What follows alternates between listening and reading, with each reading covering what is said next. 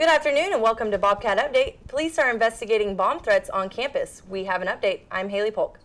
And a popular restaurant franchise has filed for bankruptcy. I'm Ariadna Camarillo. Thanks for joining us. A 15-year-old was killed Monday afternoon after being ejected from the backseat of an SUV. Officials say the teenager was a passenger in a vehicle driven by one of his friends. The accident occurred on Interstate 35 near exit 206. The driver lost control of the vehicle and hit a center barrier. Authorities say the SUV apparently rolled over several times. The driver and a passenger sitting in the front seat were not seriously injured. Students were ordered to evacuate the LBJ Student Center again today due to a bomb threat. This is the third bomb threat Texas State has received within the past six days. Police have not made any arrests in connection with what have been anonymous text messages revealing threatening statements. The University Police Department searched for the Student Center after each threat before giving the all clear. Students are being encouraged to resume all normal activities. A retired FBI agent talks about a confrontation in Waco two decades ago. The incident occurred at the Branch Davidian compound where many members of a cult perished. Bobcat Updates, Jasmine Torres tells us more. Retired agent Byron Sage served as lead negotiator during a 51-day siege that ended in April 1993. As a negotiator, you need to be able to compartmentalize your emotions. I was um, it was a very intense time. David Koresh was the leader of the Branch Davidians. In late February of 1993, more than 70 federal agents attempted to raid the Davidian complex where they believed illegal weapons were being stored. Four agents were killed and more than a dozen were injured. We did everything that we possibly could to try to bring this to a peaceful conclusion and for the Davidians to be able to take their grievances into a court of law. On April 19th, the siege ended after Koresh and his followers set fire to the compound, resulting in the deaths of 76 people, including many children. Sage says the Branch Davidian case was the most difficult of his career. Sage was a guest lecturer last week at Texas State, sponsored by the School of Criminal Justice. For Bobcat Update, I'm Jasmine Torres. Over 70 Dairy Queen locations, including one in Central Texas, filed for bankruptcy on Monday. The parent company is reporting a debt between $10 million and $50 million. Certain locations will be closed and others will be sold. Several stores in the Houston area were damaged during Hurricane Harvey, causing extended closures and loss of inventory. Several DQ restaurants have already been closed. No word yet on what will happen at the San Marcos location. Coming up, we'll tell you how students are showing off their talents. And the Bobcats return to hoop action tomorrow night. The game will help raise funds. We'll tell you where the money's going. Stay tuned. We heard some of you think the San Marcos Public Library is just for doing homework. And some of you think the library hasn't changed since you were a kid. Well, guess what, y'all? The San Marcos Public Library is bigger and better than ever.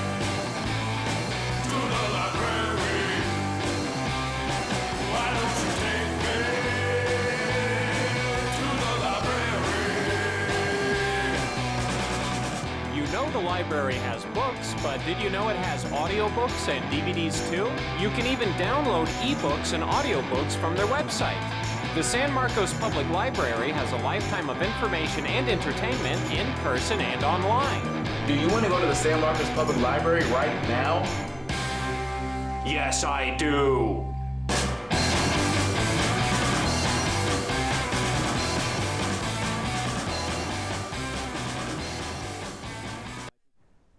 San Marcos will host a film convention this week. It's called the Lost River Film Festival. The festival starts tomorrow and runs through Sunday. Organizers plan to highlight movies that were shot in San Marcos, including the thriller Piranha. Many scenes were shot at the former Aquarena Springs amusement park back in the 1970s. Members of the San Marcos Cinema Club are hoping Texas State students will attend the festival. Bobcats are being offered tickets at half price or $5 per admission. Many of the festival events will be held on campus or downtown. Students who enjoy creative writing now have the opportunity to perform their work in front of an audience. Bobcat Update, Samantha Wells has more on the story. The Honors College Writing Circle is hosting open mic night on the last Monday of every month. The first open mic night was held last week. Students performed songs, poetry, short stories, and more. Monday night Uh, I also host the Writers Circle, which is just uh, an opportunity for uh, writers uh, of all types to sort of meet and share work or share ideas uh, or just experience, you know, the, the work of their peers and fellow students. The event gives students a chance to showcase their talents in creative writing. Any student who is interested can sign up to perform. I have an open mic just for uh, the chance for not only Writers Circle individuals to share their stuff, but also just anyone who's floating around, they can just come and, and, and kind of share stuff. Future open mic nights will be held in Lampasas Hall next to Old Main. To sign up, email Professor Jordan Morville. For Bobcat Update, I'm Samantha Wells. The dead were brought back to life for a brief moment this past weekend at the San Marcos Cemetery. Students from the theater department at Texas State and a group called the Friends of San Marcos Cemetery hosted their annual Tales and Tours event. The tour allows visitors to meet some notables who were laid to rest in the cemetery. Students played San Marcans of the past who were brought back to talk about their notable achievements as well as some San Marcos history. Donations were accepted to maintain the cemetery grounds. The Honors College recently hosted its eighth annual Day of the Dead celebration. Bobcat Updates, Alejandra Avila tells us more. What started out as a simple altar display honoring the dead has turned into an annual event hosted by the Honors College in celebration of the Hispanic holiday. To try to um, capture something else cultural um, that we're trying to explore and share with people who might not be familiar with the holiday, Day of the Dead.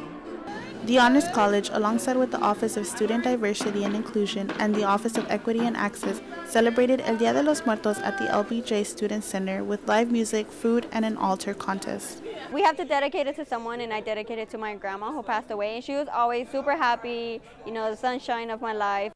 The purpose of the altar is to commemorate loved ones who have passed.